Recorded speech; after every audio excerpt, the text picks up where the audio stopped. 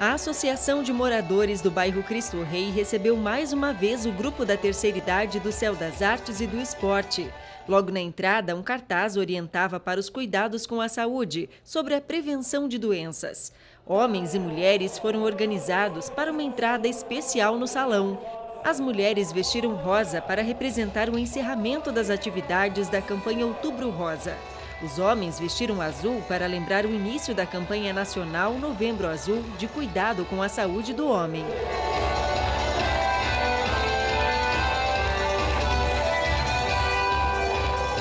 Uma tarde cheia de alegria e animação, como de costume, mas desta vez com foco na saúde. Logo após, muita música e dança, atividade preferida desse grupo de patobranquenses.